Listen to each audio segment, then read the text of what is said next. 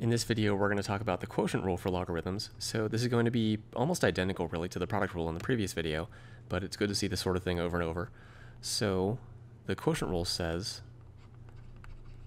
the base b log of m divided by n equals the base b log of m minus the base b log of n.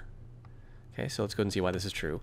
Now, just like the product rule, this actually has an analogous exponential property that says a to the x minus y equals a to the x divided by a to the y. And we're actually going to use this fact to establish this fact over here. So let's go ahead and get rid of this. Now we're actually going to proceed just like we did before. So let's go ahead and come off to the side separately and say, let's look at log bm and log bn. Now let's take log bm and let's go ahead and just call that x and log bn, let's go ahead and just call that y. Now the reason we want to do that is so that we can convert these into exponential expression or exponential equations and not logarithmic ones. So if we say the base b log of m equals x, then that's the same thing as saying base b to the exponent x equals m. Uh, we covered this conversion in a separate video. And base b log of n equals y, that's the same thing as saying base b to the exponent y equals n. Okay, so how does that help us? Well, what we're going to do now is come back over here and look at base b log of m divided by n. And we're going to use this m equals b to the x and n equals b to the y to simplify this.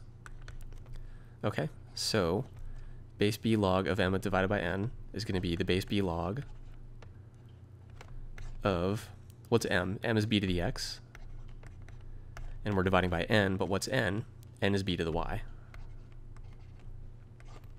Okay. now we're going to use that property of exponents that says, so remember b to the x divided by b to the y, that's the same thing as, oops, b to the x minus y. And we still have the log b out here, so inside of this base b log, we have b to the x divided by b to the y, which simplifies from that property of exponents to b to the x minus y. Now, what do we, where do we go from here? Well, remember, just like in the previous video, we're going to use that exact same property that we used uh, at this step.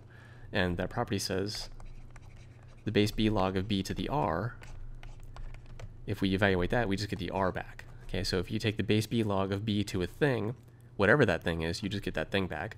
So in this case, the thing is x minus y. And again, we explained this property in separate video also. So the base b log of b to a thing is just that thing. In this case, the thing is x minus y. But what is x minus y? Well, what's x? x is base b log of m. y is the base b log of n. So this whole expression here then is the base b log of m minus the base b log, oops, the base b log of n, which is exactly what we wanted. So we just established that the base b log of m divided by n equals the base b log of m minus the base b log of n using this property of exponents here, b, b to the x divided by b to the y equals b to the x minus y.